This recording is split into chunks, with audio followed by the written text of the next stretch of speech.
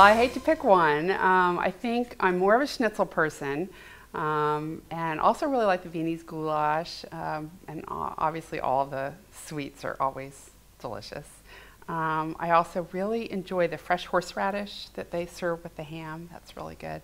So I've been trying to learn how to make schnitzel, and it's a challenge, but I'm working on it. Last summer when I was home, I made a very good Kaiserschmarrn. I was rather proud of myself. So we'll keep working on those when I go home because I know we will certainly miss all of the Austrian food.